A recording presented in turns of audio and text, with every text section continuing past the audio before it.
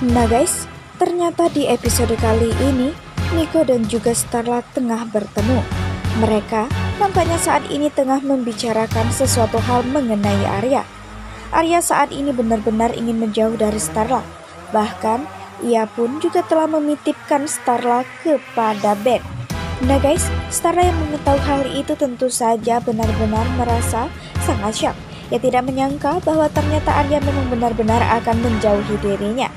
Dan Stara pun juga akan berusaha untuk melakukan hal yang sama seperti yang dilakukan oleh Arya agar Arya tidak kesusahan ya guys karena harus menjauhi Stara sendirian dan Stara pun juga harus bisa menjauhi Arya. Lantas kira-kira apa ya guys hal yang akan terjadi di episode selanjutnya?